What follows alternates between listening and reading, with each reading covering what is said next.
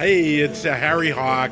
This is the second night of the 2014 New York City Food Film Festival. Tonight is Edible Adventure number 11.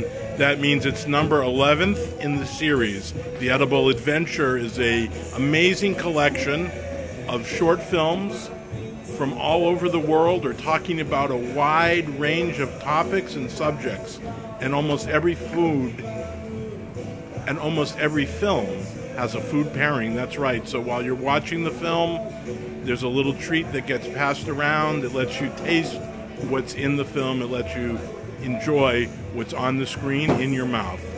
And then afterwards, of course, our amazing after party with more food, more excitement, and always, always my opinion that the New York City Food Film Festival is the best festival in town. It's Harry Hawk saying, I hope we see you down here. Bye bye.